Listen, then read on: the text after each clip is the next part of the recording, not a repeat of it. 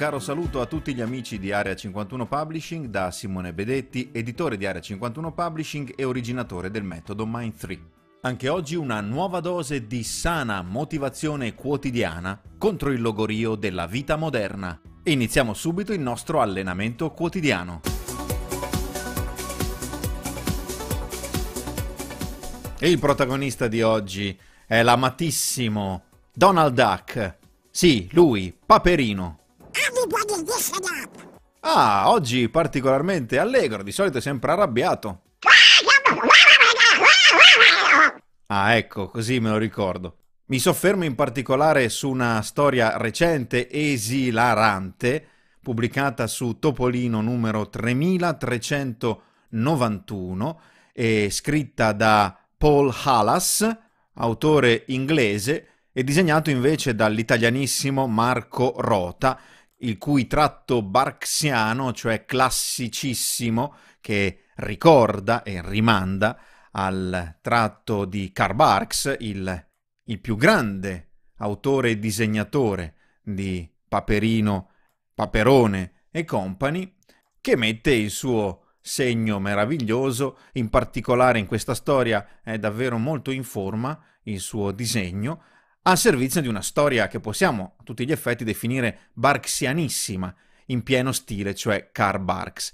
È la storia di Paperino fotografo espressivista e tratta di un concorso fotografico che avviene a Paperopoli e a cui partecipa Paperina, la quale invita anche Paperino a parteciparvi e a lui gli viene un'idea naturalistica. Dice sì, potrei fotografare qualche animale nel bosco. E da lì iniziano una serie di classiche peripezie slapstick dove Paperino si trova per fotografare gli animali a essere inseguito da qualunque tipo di specie animale, terrestre, alata e acquatica, da cinghiali a gufi fino a specie di piranha e ogni volta che urla, strepita o va a sbattere contro qualcosa, scatta involontariamente una fotografia.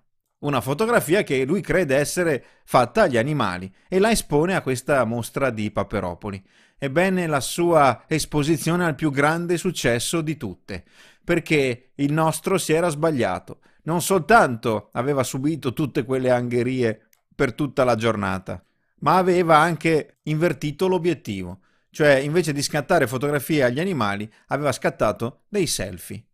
Selfie che riproducono le sue facce nei momenti più disastrosi, quindi facce di Paperino mentre grida, mentre si lamenta, mentre scappa terrorizzato, mentre trema di FIFA. E la gente dice: Ma questo sì che è un capolavoro, è un capolavoro non espressionista, ma espressivista cioè delle sue espressioni facciali. E una cittadina di Paperopoli dice che papero, che genio, mentre un altro dice l'autore è stato impietoso con se stesso. Poi ovviamente Paperina si arrabbia perché lui le ruba la scena, gli dà uno schiaffo e finisce genialmente la storia con la sua faccia disastrata sotto la foto della sua faccia disastrata.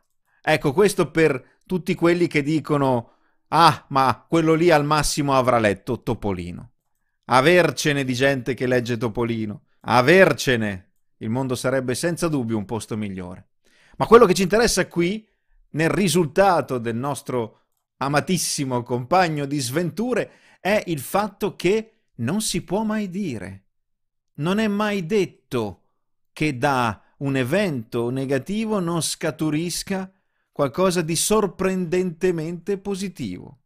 L'insegnamento meraviglioso, magico di Paperino è aspettati ogni giorno sempre una sorpresa.